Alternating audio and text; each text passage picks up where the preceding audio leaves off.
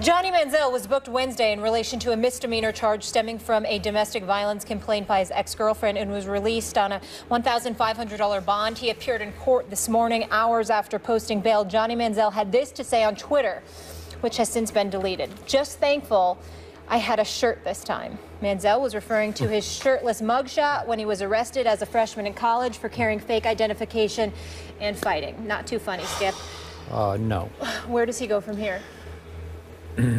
By the way, Stephen A., before I answer Molly's question, it, it was another bad sign that apparently Johnny Manziel isn't even taking this misdemeanor charge that he's facing right now in Dallas, Texas, all that seriously. That tweet that he did take down, again, referring to a drunken brawl that he was arrested for at the end of his freshman year at Texas A&M, late at night outside a nightclub near the campus. Texas A&M. This is this is another sign that he's still operating as if he's Johnny Football. Above it all, who knows? Maybe he even thinks he's above the law right now.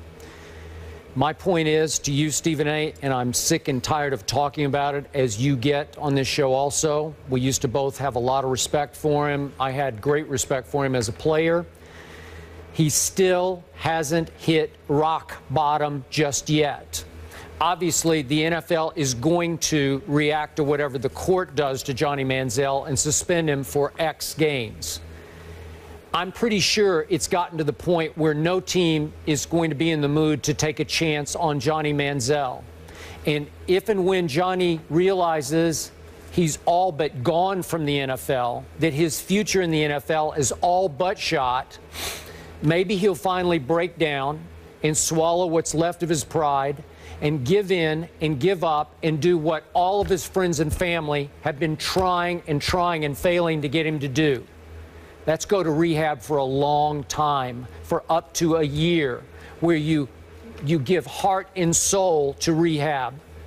You, you, you invest totally in it as opposed to what he did in Cleveland last offseason when he went for, I don't know what it was, maybe a couple of months, six, eight weeks it was all lip service. It was all for show. It was all just to, to get the public and, and his team off his back. And it obviously did not take because as soon as he stepped out of rehab, he went right back to consuming alcohol. He's got all kinds of problems. We talked about them. I'm not sure the depth of all of his substance abuse problems. But the only hopeful sign I've heard, Stephen A., in the last month or so is that last week, Justin Bieber played a concert in Cleveland, and Johnny Manziel went back to Cleveland to attend that concert with his buddy Justin. During that trip, he consented to meet with Josh McCown, Browns quarterback, obviously, when Johnny was there.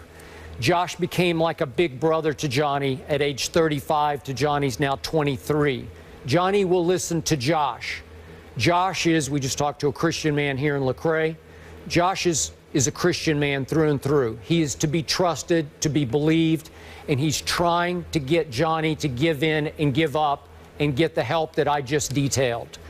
He thinks he's got a shot, uh, Josh McCown does. I hope so. The family and friends are rooting to jo- for Josh as the last hope here, but he still hasn't completely reached Johnny. Johnny's just receptive to Josh and not receptive to anybody else, to his parents, to Kevin Sumlin at obviously the head coach at A&M, to any of his former friends who are now completely former friends.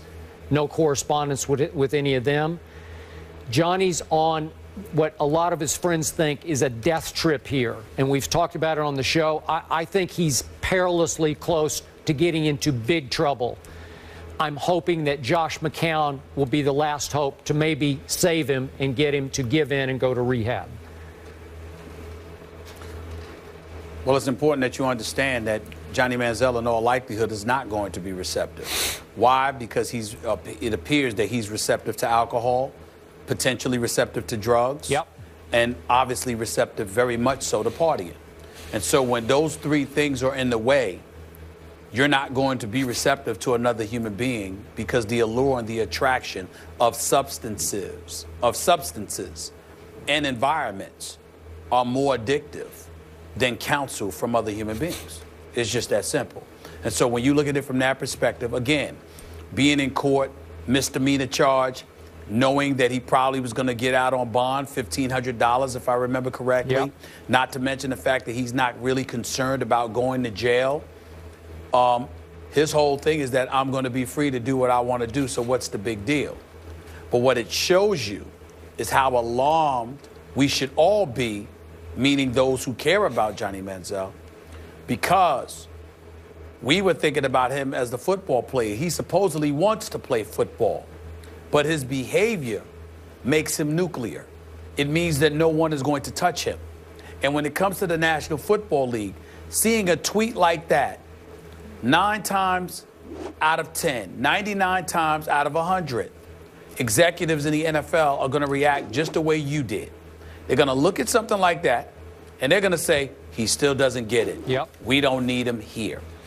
So, in the end, what this comes down to is not only Johnny Manziel needing to get the help that he needs, but it's also the NFL, the Players Association, and beyond working in concert with one another to make sure he gets the help he needs from them, not just by ensuring that he goes and gets legitimate help, but they can also help him by ostracizing him from their product, their brand.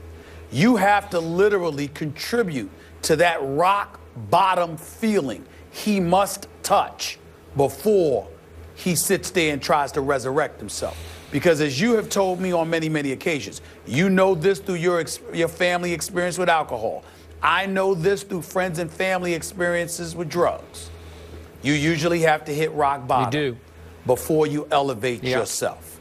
And it, it appears he hasn't done that yet. No. So sometimes that tough love is necessary. And what you have to do is facilitate the rock bottom feeling in a sense where it doesn't jeopardize his life. Yeah, we're going to ostracize you. We're going to help you, but at the same time, you're not going to be allowed to play football. You're not going to be allowed to do this, that, and the third. Because if you give him that kind of tough love while not throwing him to the wolves, then ultimately you have a shot at resurrecting him. The same thing may ultimately end up being required of Josh Gordon and others. My only problem with all of this, and it's not a problem per se because it's not my problem. I just wish the best for Johnny Manziel, just like I wish the, the best for Josh Gordon. Johnny Manziel comes from an affluent background per se. Am I accurate in saying that, Skip? I believe I am. Mm-hmm. Okay? He's going to be all right as long as he's alive because he'll have a roof over his head, food on his plate, clothes on his back. Yet here we are periodically coming tr- attempting to come to the aid of Johnny Manziel while there are so many others who don't come from such a background, who don't have that figurative cushion. And we don't talk about them nearly as much as we should. And they may very well be more worthwhile than Johnny Manziel Maybe. is at this point, unfortunately. I, I hear you, but remember, his father is on public record as saying he fears his son won't last until his 24th birthday. So, Yep, but we also care about what his father has to say. If Josh Gordon's parents or or, or, or, or, or somebody else's or you know if their if their parents came out, you know Aldon, Aldon Smith or somebody and their parents came out, how much would we care? It's a Well, question. I don't know the answer. All right. It's a question. I would like to think I would care, but I can only speak for me. I know you would. I know you would. That's why you're my man. but again, how many would care? Yeah, it's a good Yeah. question. I ain't talking about Skip. Yeah. No, we get it. Yeah. All right, let's leave it there.